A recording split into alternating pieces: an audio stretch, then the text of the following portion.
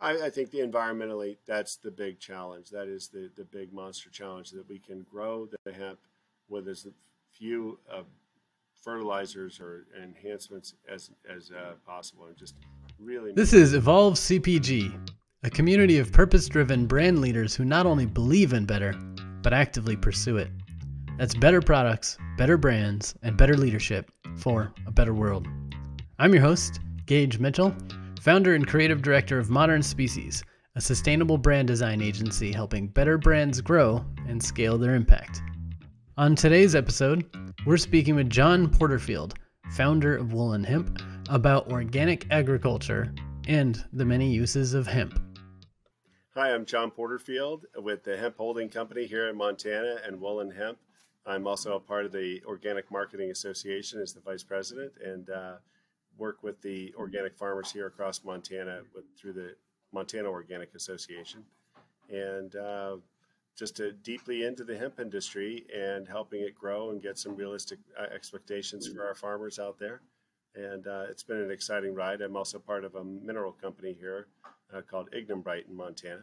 So, um, been a part of this whole organic scene for quite a long time now and in support of the organic farmers and helping to grow the market share really has been the biggest challenge, you know, is is getting off the mark and uh, and and really starting to see a bigger influx of people moving to organics and farmers switching to organics.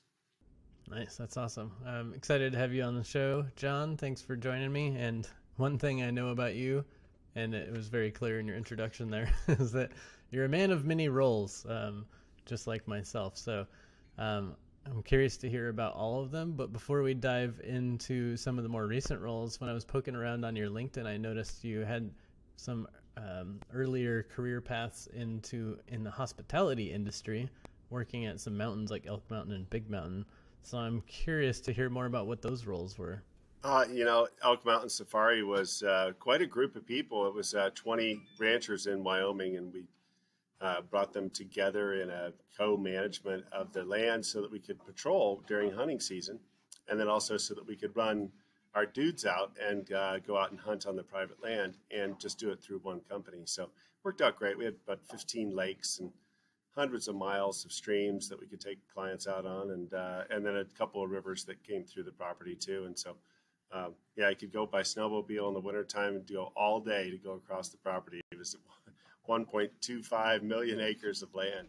So it was included three mountains and we had a lot of exploring. Uh, and that was really good. That was a part of recreation, and I was studying recreation management at the time, so it was fun. We were doing river trips on a daily basis, and uh, and just outfitting, you know, taking people, outfitting them for uh, fun fun trips in the in the mountains of Wyoming, on the North Platte River, and uh, sometimes on whitewater trips, sometimes flat water, um, it was spectacular. Sometimes we'd take jet boats and we'd be fishing tailwater fisheries on uh, dams, and other times we'd be just, you know, open wilderness floating, so and camping and doing a, the whole thing. It didn't matter. We just whatever the customer wanted to do, we always just came through for. Them. Wow, yeah, that sounds like a pretty fun, adventurous job to have. Like kind of a dream job for many people. yeah, and that transitioned further. Yeah, that transitioned it more into. Uh, recreation from the side of working in the ski industry here in Montana, mm-hmm. and uh, being able to uh, complete my internship up at uh, in Whitefish at the Big Mountain Ski and Summer Resort. It's known as Whitefish Mountain Resort now, but uh, back in those early days, you know, just helping to really build the Canadian market, and they just pushed me up into Canada and said, "Go figure it out," you know. And so, uh, really had a lot of fun with the Canadians. It was a big part of my life, and uh, I just love um, the ski groups and all that whole scene and, and the ski industry in general, it's been really, really good. Nice. Were you like a ski instructor with them or a guide of some sort? What was it? No, I was a sales manager. Uh, sale, I was director of sales. Yep. So it was like basically going out and coordinating with uh, large international tour operators, um, you know, obviously from Canada, but uh, from Europe too. And so we could bring in groups of people and then we do a spring spring promotion for the following winter, and then the fall promotion leading right into the ski season. Kind of try to fill out all the rooms that we'd have, and that was just basically the plan. Just do that all over. And then I worked in the golf industry too. Huh. I uh, represented all the the ten golf courses here in the Flathead Valley, and uh, that was really exciting. got to go around to about thirty different cities across North America and go to golf shows. Just promote the destination as a as a finished destination. You could come out and play, you know, six or eight courses in a week, and people would have a lot of fun. Nice. Okay, so there's a lot of sales and obviously outdoor healthy lifestyle activities in in all of those experiences. Yeah, it's uh, it's great fun. I mean, the mountains of the West were important to me too. I, I grew up in the Midwest, and uh, I was allergic to corn pollen, and not a good place to be if you're going to have a allergic reaction to corn pollen. So, right in the corn belt, uh, moving to Montana and Wyoming areas were just a, a, game changer in terms of being able to breathe in the summertime, and um, and so that was huge too. But uh, but ultimately the West is very captivating. I love the mountains and I love the I love the farm country of Montana too. It's really really neat out in the prairies and uh, and in the mountains, but just an incredible diversity here. Nice, yeah. So how did that transition from working in those industries? Um, where did you get inspired to shift into the agricultural industry and start Montana Grow? You know, I worked on a project uh, that was trying to find uses for uh, secondary uses for byproducts in industries, and one of them was in the mining industry. And I'd grown up in the mining industry. My dad was in the deep into the coal industry, and a variety of other minerals too that he was involved with, from molybdenum to silver and copper. And, uh, and so, uh, having that some of that background uh, kind of led to an opportunity to work with a mineral company here in Montana. And then I got contacted by another company, and they invited us to come down. And kind of the rest is history. We uh, uh, founded a mine uh, with a friend of mine, Robbie Lindsay, and we, a local guy from uh, Billings, Montana, and the two of us came together to kind of rekindle this mine that had been operating, you know, for years, and was back before the DEQ even was in existence. But then we've worked with them and uh, transitioned now into a great management team and a, and a, really interesting product that has a lot of multitude of uses in uh, agriculture and and in uh, different parts of animal science and uh, so that was an important transition for me is to see the opportunity to work and kind of do do more really to try to i had children you know having a couple kids changes your perspective on the world and what your role is and after about 15 years in tourism uh, construction trades and alternative building materials really kind of took over for me and and so hemp was really right on the list but we just couldn't grow it you know we were using straw wheat straw and and uh, a variety of other things we were using uh, to, to lighten the load of concrete products, both environmentally and also physically for moving the blocks around. So, and finding ways to basically help the mining industry actually exist in the United States so that we could meet environmental standards, but we could we wouldn't have to be importing the minerals basically, and we wouldn't have to also export the minerals mm. to have them processed further. So we could actually, you know, add more value to the things that we've already got, and we definitely have to have the minerals. Montana has this unique uh, unique challenge, but also the unique uh, uniqueness of having those minerals. And so that was a huge factor for me is that like we have to find some answers here. We're shutting down our mining industry, and yet we're the major supplier of a whole long list of incredible minerals, some of the finest minerals in the world, but we couldn't hardly even keep them open. The environmental groups had their foot on the throat of the, of the mining industry and I had a better answer. Basically, we use the waste. We don't treat their waste as waste. We treat it as another part of the buffalo. Was the experience. So basically, teaching the mining industry what green mining was all about, and really agriculture, teaching agriculture what what uh, green mining, because the uh, the farmers are mining the soil, and uh, and we all can learn from what green mining means, and uh, and so that immediately got picked up by the concrete producer and put me on the cover of the concrete producer and flew me off to Vegas for a trade show back in 2009. you know? nice. And so I've been studying this for quite a long time about using alternative building materials and uh, and integrating those into great better systems and uh, and so that's part of it. Did a lot of work at the World Center for Concrete Technology back in Alpena, Michigan, so, you know, preeminent place to do concrete technology work there. And uh, uh, uh Dr. Don McMaster and the, the gang and all those people are just amazing. So, new hemp opportunities, new new opportunities to bring organic products into every single thing that we do. We don't want to see pesticide use happen out into our farms. And so this is the other part of the environmental challenge of not only mining, but also for agriculture. There's a lot of finger pointing that goes at both about environmental damage. And so, if we don't have to use the pesticides, if we don't have to use the heavy fertilizers, uh, can we do that? And and we've proven, you know, that their organic systems are the best way. We've started, as my friend Bob Quinn would always say, uh, we started as organic farmers, and we're going to finish as organic farmers. There's just this lag period in between, but. Uh, you know, bringing some of those answers to the farms and bringing the answers to the uh, mining companies, you know, it's been a really big challenge for me and uh, and important. My father said I'd have overnight success in 13 years, so that's coming up pretty soon. So that's how these industries work, very very slowly, you know. And I'm deeply involved in the hemp industry from the textile perspective. You know, we want textiles, our clothing, everything that we get. Um, and new new products that are being made that can only be made when you get really good quality fibers like the hemp fibers that can be made into graphene and and then used in batteries and so technologies that are just exploding into these industries and so we've really just been pushing you know from the organic perspective like uh, my friend dennis says you know change your food change your life i found the same thing. When i needed to change my my outlook i was changing my food and switching to whole organic fruit was like one of the first things i jumped to.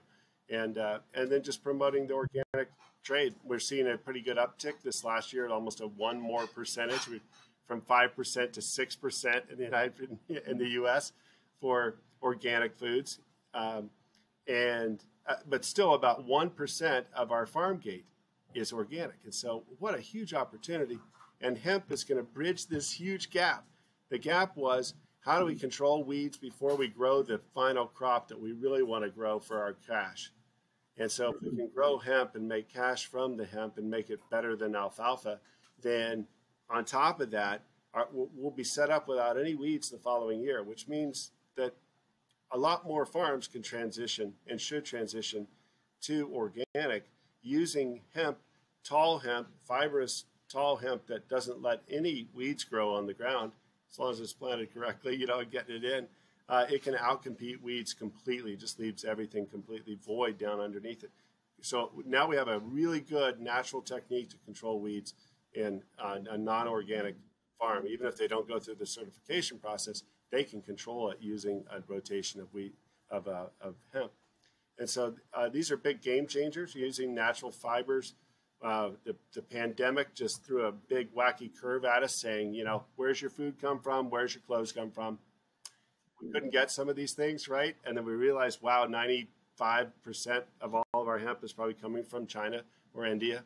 Uh, we can supply this, but it's a it's a kind of a slow process to rebuild industries and re, recapture industries and kind of go back to really really old trades and kind of understand how these old systems did in fact work. Uh, and th- what it all comes back to is that organic really is the simplest way. we we've got to do things simply so that we don't overuse water. We don't neglect our water by, you know, causing problems for it. That we protect our bees. Kind of starts right at the bee level. Uh, you know, we saw a big group of in the bee side of this. You've got 4,000 honeybees and uh, 4,000 hives that were used in an organic situation, and then they were also uh, sent to a non-organic farm. On the non-organic farms, the bees come back fewer bees and poor honey. They go to an organic farm, they come back with more bees and more honey and excellent quality honey. If there's not a better example of why we need to get away from using pesticides, the bees are the answer. This is this is they're telling us exactly what's going on, and uh, and we have to look out. That's a, a huge factor in all of these things here too. Yeah, if you want to know which way to grow, ask the bees. they'll tell you what they prefer, and that's what we need to do. Yeah, that makes sense. Yeah, they would. And there's, you know, we're now seeing technology. Nice. Um, so between like the more sustainable mining for minerals used in the agriculture industry and um, hemp grown on farms in, in rotation to help um, companies eliminate weeds, it sounds like you've done kind of a lot throughout your career to help uh, farmers do more with less to some degree, or at least um, to find better ways to transition to organic. So, um, well, I don't know. Tell me some of the stories of of some of the farmers that you've kind of worked with throughout your time, um, in terms of some of the differences you've seen and how they're able to grow food or clothing or anything else. Yeah, I, uh, I mean, on all perspectives, the, the clothing side and creating textiles is such a new side of it, but we're just starting to move that direction. Uh, we're seeing the hemp being used for the hemp seed, which is really exciting. There's the hemp seed oil, which is really good. Yeah. The seed cake that comes from crushing, you know, the seeds. End up still with a little bit of oil in it, but it's about 30 to 50 percent protein. It's a really, really good additive for our own bodies and for animals. And soon it's going to be exploding into the animal scene, into cows, which are a big part of our world out here. Um, and those are going to be, uh, you know, game-changing things. Uh, and we want all those processes to be organic. We want all that seed to be organic. We want all that seed cake to be organic. That's the high protein, and, and we want the fibers. Ultimately, we want all that to, to come back to it. The farm level is really interesting. There's there's a willingness to go, and it, to a certain degree, they like to go big in Montana. They there's there's big. We have average size farm is two thousand acres, so it's just not uncommon for people to put in a couple thousand. A lot of them are 12, 15,000 acres. Some control hundreds of thousands of acres. Wow. So when you have just an enormous tracts of land, you know, and multiple families involved and uh, co-ops that exist out here too that are huge. Um, we have commodities that the finest quality wheat in the world, you know, grown here in Montana. And so it's kind of tying into that same group that likes to grow wheat and they can build in a rotation on dry land. We don't have irrigation. So, I mean, for those that do have irrigation, they're interesting and they can grow more, faster, and with a better take than the dryland farmers. But the dryland is ultimately, we want hemp to be grown in a dryland situation. So we're adding as little cost as possible because we're trying to bring value to the farm and all the way through the system to make a pair of pants to go from dirt to shirt, as you say, or, or, field to fabric. Yeah. Um, you know, it uh, it takes about 13 different companies, different wow industries involved, and so to save a little margin for everybody along the way and not screw over the farmer, which is basically what's been happening, is that the farmer ends up carrying the industry, and we can't have that happen anymore. So as we become more as a sophisticated commodity, uh, you know, hemp is going to find its way into all kinds of different uses, and we're we're just seeing that right now. Is that the the farm level, uh, the farmer is embracing it because they're seeing that the guys that are contracting with them are actually grade A companies, and those grade A companies can then ensure that they're going to get paid for growing the crop. And up to now, we've we've seen a lot of farms. We had 275 farms that grew 55,000 acres of hemp wow. a couple years ago and I don't know of hardly any of them that got a completed contract. Maybe 12 really out of the 275. So that caused us to drop from 275 down to about 14 farms that only grew on, I think, about 12,000 acres. So a big, huge check in the industry right when things are ramping up. Wow. So, but we did see a nice uptick in organics. So the organic side is important because people said, "Hey, we want organic hemp seed oil, we want organic seed cake, we want organic fiber, even." A lot of people overlook the fiber thinking, oh, shoot, fiber industry won't care, but there's all kinds of contaminants, and those can start right at those problems. You know, where we don't want to introduce pesticides or any of the herbicides or things like that, you know, into our processing. So our processing systems have to be now built, and hopefully will all be built in an organic way, so that they can be certified organic facilities, getting organic feedstock coming to them. And so that's been the strong trend is to build more and more on that side some of the farms, one of the farms here, uh, has stepped up their educational programs. So they ah. they're actually involved in student learning. They're involved in apprenticeships, and a, a, combination of bringing those apprenticeships together. Then you end up with farm leaders that are driven in organic standards. Uh, and this is up at Vilicus Farms at Doug Crabtree's place. Uh, really exciting example of what they do and how they bring it together. Just in vast amounts of land, you know, that's now in the organic control and under a plan and a strategy that is really best for this whole region of Montana. Um, and they're just a little bit out of the golden triangle where the, the highest value wheat is, but they're right. They, they do incredible jobs up there. And then you got on the other end of the state, you have people like Jay Stetson, another organic farmer, and, and Stetson is able to finish his cows with hemp Wow. And so hemp finished beef is our future in a big way. High protein, you know, it's fantastic. They can just go out and forage in the field. You can grow it for your own right now, but you can't. It's just coming on pretty soon that we're going to get permission to actually have the seed cake fed to cows, you know, on purpose. uh, and they'll be finished, which is really really good. But the Stetson Farm is you know a huge organic operation and super important to food production down you know out of the Billings area. And then you go all across the state in a whole variety of ways. You have animals and uh, and a lot of farmers growing you know some of the other bigger commodity crops, but also doing a lot of specialty work too. And in the western part of Montana, you tend to have uh, a lot of the wine and grape operators, and they're all operating in an organic way. Some of them aren't certified, but even though they do operate, uh, you know, yeah. fully organic. Uh, but I, I, think there's going to be a huge explosion in Montana for organic uh, apples and grapes and berries and all of those things that feed the the the, uh, the rest of the winemaking industry. Really, we're going to just see an incredible growth, just as we've seen for the beer too. You know, the microbreweries yeah. and these uh, these wineries are popping up all over the place, and we're expected to grow enormous amounts. And so we have an ideal crop with cool nights, or ideal environment here in Montana with cool nights.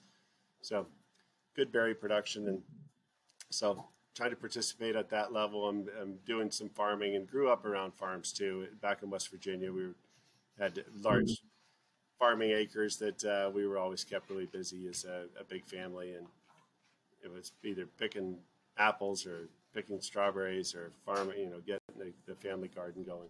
Wow, it was fun. Yeah, man, it sounds like the Montana farming industry is kind of paving the way for organic in, in in a bunch of different categories. That's awesome. I think it's trying to. Do you have stats in terms of like the different states and percentage of uh, organic farms, and is is Montana kind of growing faster than others in your? I think we're um, we're not growing as fast. Like the percentage rates are growing higher in other states, and like Vermont is a, got a really really good program. Uh, but I think we're number two. I think California's got a pretty much lock solid. We've got so many farms and a lot of organic interest. And then I think Montana's number two in total acres. Wow. We're somewhere around probably a half a million acres, which makes it difficult for a lot of states to even compete. They're like half a million acres. My gosh, that's organic. but these are on huge farms. A lot of them are two to four thousand acres, and so combined, we have about 315 members, I think, in our organic program across Montana and uh, you know part of the Montana Organic Association. And so a great group of people, you know, and it's like one time a year, you know, the whole group comes together, you know, and we couldn't come together last year, so there's kind of this hiccup. But there was also this kind of Zoom experience too, where we met online. We still had board meetings. We still do our thing. Um, nice. And then we do farm tours and things like that. So the farm tours are a really good way for people to get kind of introduced to organic farming and uh, and see what's going on. We're having a lot of uh, we have a program here called the National Center for Appropriate Technologies that runs the ATTRA program for farms and helps uh, basically troops, because we're expecting to get about 3,000, maybe 3,500 troops coming home from Afghanistan and uh, the, the, Middle East. And so those guys and gals, uh, there's programs to help them transition into farming, and we want them all to transition oh, nice. into organic farming. And uh, yeah it's like ground forces. They can get involved in the, the ground ops, this program that they get involved just from video standpoints. They come back and they learn how to uh, apply skills uh, that for flying drones and things like that that they can apply to agriculture. And uh, and some really cool programs. Cornell has a great program we're trying to mimic here in Montana, and uh, and, and, really helping farmers to pick up the skills for organic farming, but also to help these uh, these troops transition back in through this these ATTRA grants. So ATTRA, ATRA is a great program, and it really uh, just lays the whole basis of really just showing them to go from no experience to full production. Nice. And uh, and so everybody can benefit from it, but uh, in particular, the troops are going to highly benefit over this coming year. Yeah, I love that idea. Like, uh, you know, people need jobs especially veterans, and then also the farming world needs more farmers, right? As the industry ages out, so we do. The prairies are getting empty, and we have ten percent of our population. The whole ten percent of our population are veterans. You can imagine, ten percent wow. of Montana's population is veterans. hundred thousand veterans that live here, and it's an enormous wow. need for services that we just don't seem to always have, and uh, we're trying to make up for it, really. But uh, a lot of people want to get away, obviously, I think COVID sent that same message out, you know, because we can tell by our real estate prices, you know, people were flooding the state. But for for yeah. troops, they've been choosing Montana for a long time to come and just bring it down a notch and learn skills like farming and things like that that give them that husbandry to the land that is really cool. Great. And a number of them are, are organic farmers too in our organization. So it's great to see. And it's great to see too some of the organic farmers. We have stories of you know, now being able to grow hemp, you know, and the hemp products, uh, hemp and the medicines from the hemp plant have helped to save uh, one of the sons' lives, you know, one of our organic farmers. And so wow. enormously important, you know, that uh, we provide this huge role that our food banks went empty for a period of time last March and April. And really? all the organic farms came together to take bins that we normally have, you know, that are going out by the train load. And suddenly those were going into super sacks and going to food bank facilities. Nice. So we were able to supply organic grains from across Montana directly into our food bank system. So for the first time ever. So really, at the that the, those with the highest need were getting the highest nutritional value products from Montana. It was a great savior for kind of bringing together excess grain that wasn't going to get exported and getting that into uh, a smaller bags that could be distributed to homes. Nice. How was that organized? Was that through Montana Organic Association? Oh, our executive director at uh, Organic, the Montana Organic Association, Jamie Lockwood, and uh, Becky Weed, our current president, they just kind of drove it together. And Montana's uh, food bank network had the need. It was kind of like they got the need, the farms have it.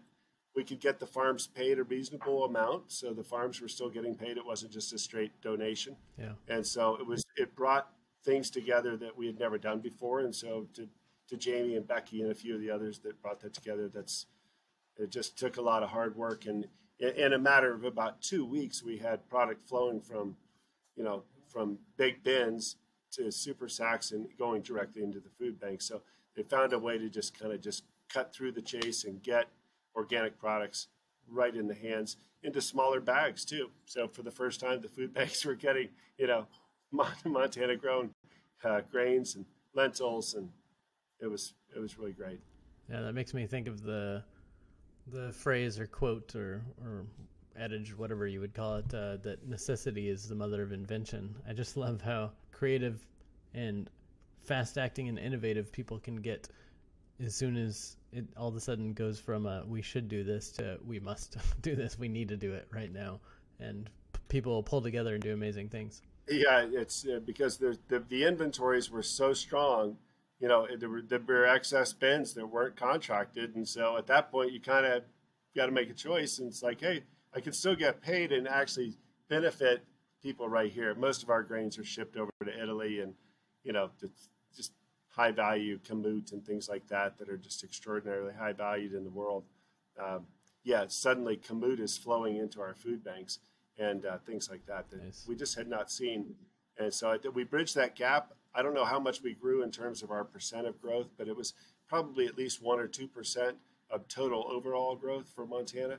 Uh, and in certain segments, you know, it was probably you know ten or fifteen percent. So nice. it's exciting to see. I think there's going to be more farmers transitioning now uh, because weeds were always the problem. How do they set up the barley crop that they want to sell to Miller or uh, Coors and uh, or Budweiser? And that was the issue. And so they'd spray Roundup or they'd kill. It was terrible. We and we've got to get away from having those uh, negative impacts on our soil, and our land, our water systems, our wildlife, all those things. So organic is the answer. I mean, good food comes from great organic food, and uh, that's a great celebration. You know, when I when I first met Dennis, you know, we were at Organicology, and uh, it's in Portland, you know, and they get together every few years, and it's the whole world of organics is there. I mean, it is an incredible show.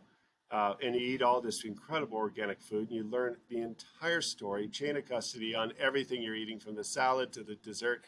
It's a crazy story, but uh, most of it is amazingly positive. But Dennis and I found that some of the messages were super negative and really like hitting people in the face, like, "Oh no, this isn't what we want to do." Yeah. And so we we were laughing about it, but we really we we bonded instantly, you know, over what could be the future of the organics with using a positive message and to try to take this positive kind of, you know, get more bees with honey than vinegar, right?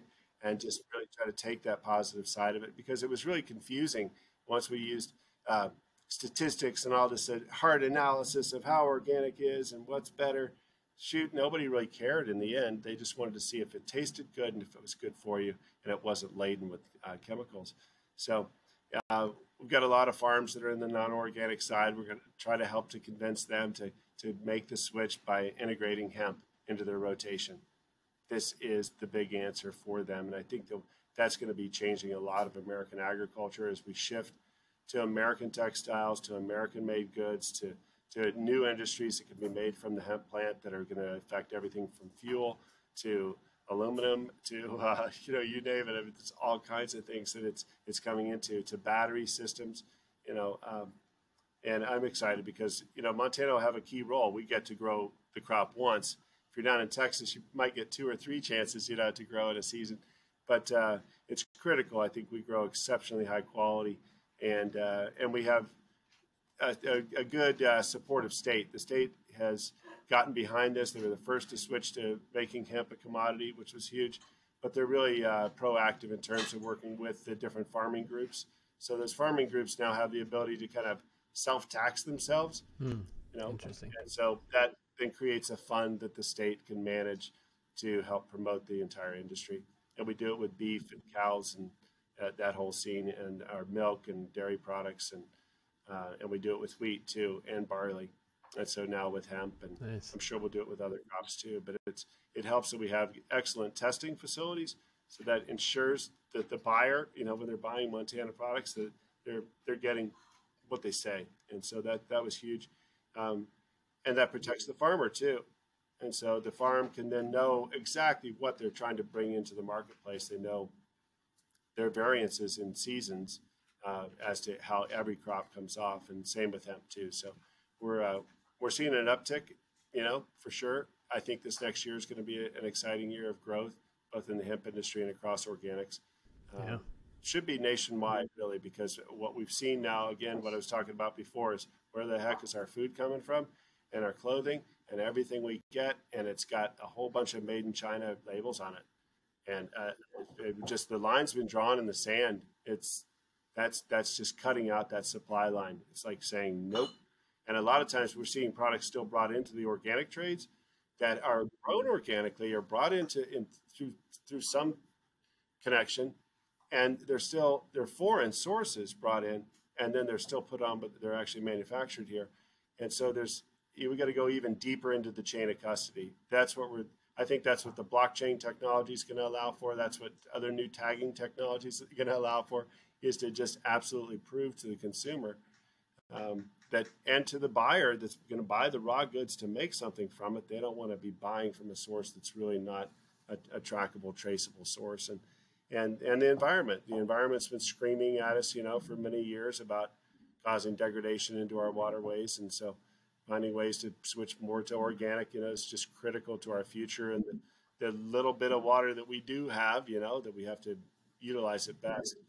And uh, and so those are things that organic is going to continue to lead the way for a long time. Nice. Yeah, I, I didn't realize that hemp was used for weed control like that. That's amazing.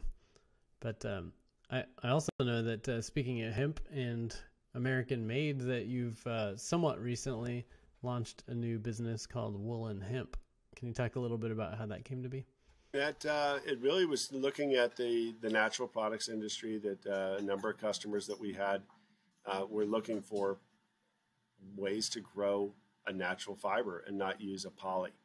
And so in their poly products, they had very limited uh, places that they could use the poly products if they went into uh, utilization in uh, sensitive areas that they needed something that was natural. And so hemp, wool, cotton, you know, those were those were some. And for me, it was all about hemp. If I could replace this, and if I could bring wool into the mix, wool actually would take an uptick. So the natural fiber of wool has been on a downward spiral in American Hmm. textiles for at least 20 plus years. Uh, and so this, we have a lot of sheep in Montana, a quarter of a million sheep, and uh, a lot of great wool growers that I, I'm just here to support in any way, shape, or form, and the hemp growers. So a lot of hemp growers that didn't have contracts fulfilled, they have tons of product available, and so I'm trying to bring those two things together, and that's really what what that uh, opportunity is. And there, there'll be a lot of really neat things that will come from that.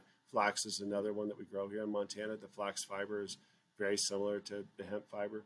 And uh, as we can prove out that we have the ability to, to supply these natural fibers to mills in the United States, uh, they'll be able to switch and they'll be able to find pieces of their production cycle that they'll be utilizing American grown, proven that it's American grown, and and it's going to be that's that's the important part for everybody. Anyone that wants to make finished products, they need to know the story back about how it got to them mm-hmm. from the field you know, to the fabric, and uh, it's a really exciting story. Really, I mean, it's it's a but it's super involved, and I think it proves out that especially with a new commodity like hemp is that we have to know that there's a lot of different touches along the way, a lot of different processes that are involved. It's environmentally, it's way far superior to cotton, um, but it's these natural fibers that are good, much better for the earth and better for our more sustainable farming practices. And, uh, you can't go around to any farm or ranch around Montana or anywhere that doesn't have the the poly rope, that poly, the plastic poly rope that's been around for a long time now, and it should go away. We should be back to natural ropes and natural netting that we use for baling, and uh, that'll be a really good site. That's something that I'm really yeah. impressed to, to see. Nice. So, yeah, can you do you know like one of the things that um, I, I want to say it was like 10 years ago or something for the textile industry, people started using bamboo a lot as this quote unquote sustainable alternative, which, you know, it's nice that it's renewable and so on and so forth grows fast. But from what I've read slash heard, it takes just so many chemicals and such harsh processing to turn it into something soft like a fabric for a shirt or a pillowcase or something like that. But but hemp, right. in my understanding, is much easier to convert to textiles. But can you talk a little bit about that? I, I, think the environmentally, that's the big challenge. That is the, the big monster challenge that we can grow the hemp with as few uh, fertilizers or enhancements as, as uh, possible and just really minimize that. We can grow it in dryland conditions. We don't have to grow it in irrigated. Um, for Texas and places like that, they, they'll have to have irrigation if they're going to try to get like a second crop in. But in most cases, we can usually get one crop to trigger just naturally coming out of winter. Um, and that should be enough. That that that will give us enough production for a lot of new facilities and new opportunities to bring all the bit different pieces and parts of the plant, primarily the seed and the high protein seed cake, and then the fibers and the hurd. The hurd's the inside woody portion of it, and it it has a great future in all kinds of different products. And we're seeing industries start to convert to that because if you can replace something that's heavier, let's say it's a concrete product it's a block, and the block goes from 30 pounds to 20 pounds because you've replaced some of the aggregate in the block, then that becomes favorable. It can be shipped further. It uh, might have better integrity based on how you're building with it, so that it could actually not have as much breakage. So that's just one example in one building trade, in one portion, just the block industry. And block technology, shoot, the, the block machinery they, they can make 4,500 different shapes of blocks, you know, just out of one machine. So you want a different shape, you can add more hemp into it. We can do all kinds of replacements that are just like that. So I've been doing a lot of that research for the years, and and uh, it's exciting to see that it's going to finally we're, we're there since the 2018 Farm Bill. Yeah. So beyond your uh, woolen hemp textile company, where you're making, um, I think it's like linens, like pillowcases and and different things like that. But uh, sounds like maybe it'll be launching another hemp-based company to help with the construction industry. Absolutely, in the near future. Yeah. Yeah. And maybe even I was hearing some flex too, so maybe it'll be woolen hemp flex or something like that in the near future.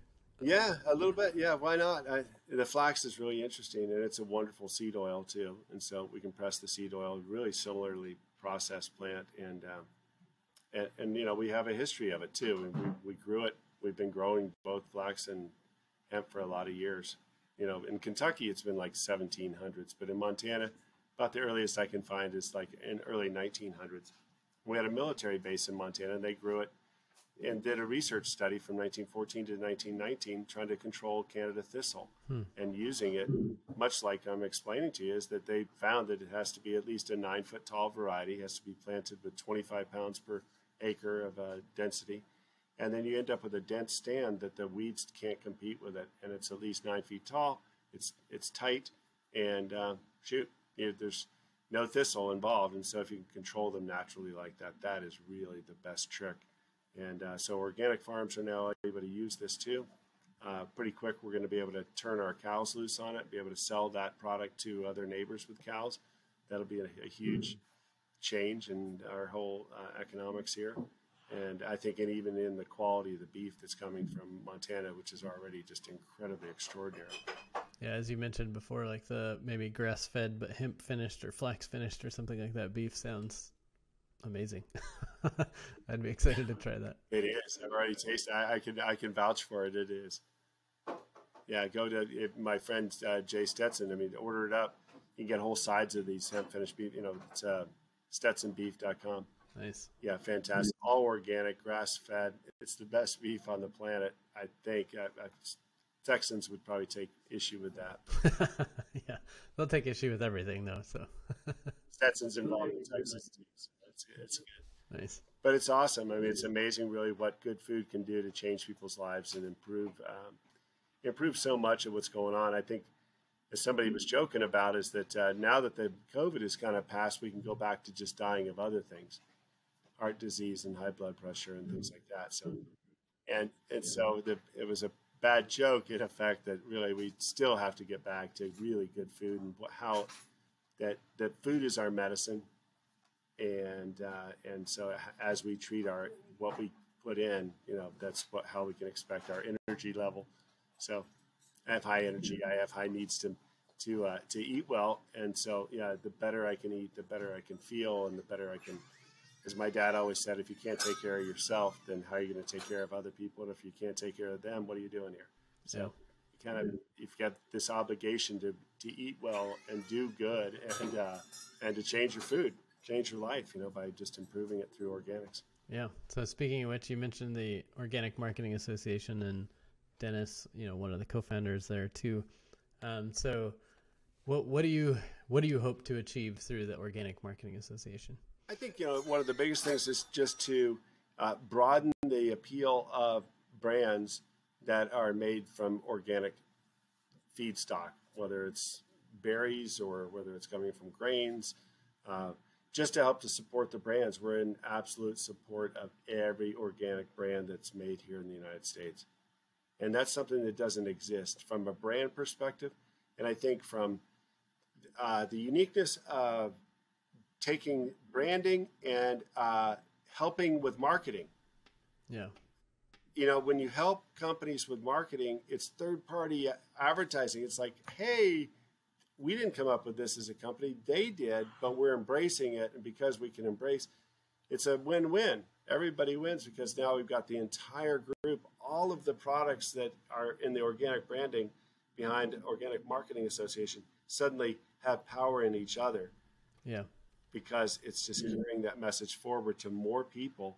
And I think it carries it in a different attitude, with an attitude of of uh, happiness, of basically that it's fun, and eating good makes you feel good, and when you feel good, you have more fun, you know. And it's like some of the, you know, the the, the tongue in cheek things that came out, you know, the do organic apples, you know, improve your sex life. We don't know, but there's an easy way to find out. Those. I mean, little little did anybody know, you know, that when you put that kind of sign at a trade show like Organicology on a four foot by four foot sign, get a lot of attention. And people yeah. start bidding for those signs to somehow fly them home on the aircraft or ship them home. Wow, how are they going to get these home? But they were prized items, so every one of those was really important. And I would, I was wearing my T-shirts, you know, with stake your life on it with a big, beautiful T-bone steak on there and organic. Um, and other funny sayings. So every day I had people were talking and grabbing, and every trade show I go to, I'm wearing my hemp shirts for the most part, and people love the sayings on the, the shirts, and the fact that you can get that, you're supporting the organic cotton industry in that case because it's got the t-shirts are cotton, uh, which I'm happy to support that any side of the organic trades. Uh, hemp is coming hemp's day is coming, you know, and yeah. Cotton knows it. Cotton's shaking in its boots. Yeah, but uh, it's okay. We'll, we'll, be like this with cotton for a long time. You know, our jeans are going to be made with cotton and, and hemp. You know, a lot of products are going to be blended for a long time um, before we figure out more technology to really soften and get this high graded um, hemp fiber that we can make more like 100% products out of that too. But uh, and and further do better things for the environment. You know, I think that's where all the industries have really kind of had to take a little self check on the environment. They have to take a little self check on their own supply chains. And so we have this great ability, I think, to, to grow these industries. The Organic Marketing Association is this critical tool to, to launch new marketing, uh, launch a new brand, you know, to test a new brand, um, and to have fun, to really have fun with it. Because when you have fun and you're, it's just contagious. People you know, when you're at a trade show and everybody's having fun at the Covilli booth because they're all wearing "Pucker Up, Baby," you know, T-shirts with big lemons on them. It's amazing how much attention people get and give you when you wear these Organic Marketing Association shirts with little funny sayings on them. It's really good. Some are a little too risque for some crowds, you know. Yeah. You know, and so we've kind of had to like tame it down just a little bit to keep it, you know, kind of where we you know, be friendly out in the prairie, you know.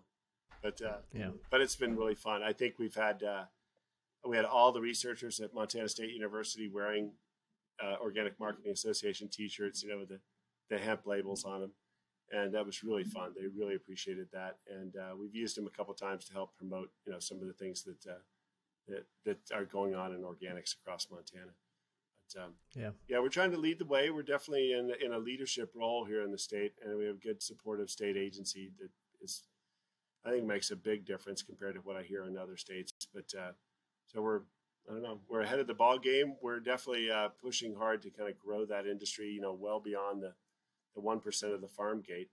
Um, and I think this is this year is going to be a big, huge transitional year for organics. Nice. Yeah, it sounds like um, both you and Montana have a bright future of uh, just a gazillion different things going on for you. So I'm excited to see where all that comes from. And now I'm really interested in going and finding some uh, Montana steaks and wheat and, and, hemp and a bunch of other things. So yeah, I do, do the uh, like Timeless Seeds. There's a company called Timeless Seeds. Another great story of the farms that kind of took a chance on lentils and organic lentils. And gosh, you know, nobody really knew what was going on. It's called the his underground, you know, his his uh, Timeless Seed underground, the, the lentil underground. This the whole story is written in a book, and um, yeah, some really fascinating stories on farms across the state. Uh, animal agriculture too. I mean, we've got some in goats and others that are um, just doing a whole variety of things. I think the cow side of this is really amazing, and the beef is just I'm sorry for the vegetarians that are listening, I guess, but the uh, you know shoot the beef is just so fantastic. And after traveling in different parts of the world, you can't find good beef, and you come back to Montana and you're like, wow, this is the real deal here. Yeah. And now being able to you know add hemp to it is only going to make it sweeter. And you know, nice. Love it. Yeah, but lots of fun and beautiful place. You know, obviously mountains and lakes and rivers and all the clean water and all those things that we have to work on to protect, especially as we get an influx of more people coming to the state. And and I think a lot of the western states are like that too. We've seen the Californication movements out of California and coming into flooding into Colorado and Idaho and all across Montana now too. So, and um, yeah, as we get into like high speed internet out in the prairie, which we haven't had mm. before, a little bit here and there, you know, spotty but 5G, putting it up in the satellites is going to be it's a complete game changer in terms of what is possible now from a standpoint of business and where you can do that business. So I hope that as we see people come in, they don't transition out of agriculture. They don't take right. land out of production because it's it's devastating to the local schools and families and others that work in the industry. So yeah, that's the key thing. You know, you're welcome to come here. Just keep keep uh, keep the farm going. Yeah, that is one of the downsides of uh, booming states because I'm originally from Colorado, so I know all too well of uh, growing up all the uh, patches of land that were once farms. Uh, every time I go back, I feel like there's yet Yeah. another chunk of farm or prairie or something like that that's converted to uh, a new neighborhood, a new housing neighborhood or something. So I know. I mean, some of my favorite farms. There's a farm over in uh, in Bismarck, North Dakota. That's just a beautiful, um, regenerative, organic farm. Fantastic. And and Bismarck, which you would think they can go in any direction they want. No, they want they want to go east. And so Bismarck is just mowing down, coming right at his farm, and it's not going to be long. But it's sad because just you go just over the hill and you see just a whole sprawl of new roads and new subdivisions coming out of even out in the middle of the prairie. You know, in, in here in Montana, we're in the western part of the state. You know, like Missoula, Montana, it's it's stuck. You know, it's there's five valleys that come together.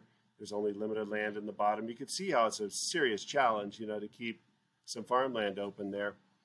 Uh, but out in North Dakota, you know, yeah. it's still a challenge out there too. Well, it sounds like Montana is poised to help uh, start the what is it? American organic veteran grown hemp and other kind of goods industry and really bring back kind of the idea of American made and American grown tied together. Oh, I, yeah, I'd love nothing more than to see us start, you know, new spinning technology and and have be making ropes and making and spinning yarns and you know, add, and then adding weaving into this whole thing. And uh, yeah, there's no reason we can't get more and more involved because you you think back about our tribal nations. We have tribal nations all across the United States. And, and they were making fabrics and, and bringing together these these fibers together. I mean, we've been messing with hemp in America, I think, since like 1795 when it 1st mm-hmm. came to Kentucky. And so, you know, we've it's been around. It's just a matter of kind of finding some of the old recipes and finding some of the ways that we can actually integrate Yeah, it. So, I feel like that's kind of the same way with organic. It's you know, like you said, we we started organic and we'll end organic. It's you know, a lot of the things that this industry is moving toward are things that we used to do. We just need to relearn how we were doing it in the past. And relearn, yeah, and through that process, and it's, it's, some of them been very painful, obviously, as we learn, you know, that Roundup kills everything and all the microbes, and it's really, really bad, and it causes cancer and does all those things. But yet, it's still for sale when you go into a Home Depot. I don't fully understand how that's possible, but hopefully, we're going and learning more and more about how to get away from those those harmful chemicals. yeah, And there are some good. I mean, there's a tiny amount of good. I think in the pesticide list, I saw the report that came out last week. Of all the American pesticides that are approved, only one percent were actually beneficial beneficial to the soil. Only one percent. wow, Eighty percent were de- uh, whatever they caused degradation to the soil, and that's that's not good. You know, just trying to control pests. yeah. And uh, It's like short-term gain at a long-term cost. And every time we try to cheat the system, we end up learning that same lesson. Yeah, we do. And a lot of times we just shift it to other countries and let them grow it or let them mine it.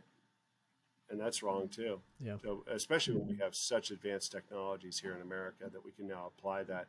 We can mine safely. We can mine without degrading the environment. We can use it all. We can mine it like it's a buffalo, basically. You know, like the Indians slaughtered a buffalo. We didn't. You don't just kill the buffalo and take the tongue. You take the whole animal and use it all if you're going to use it.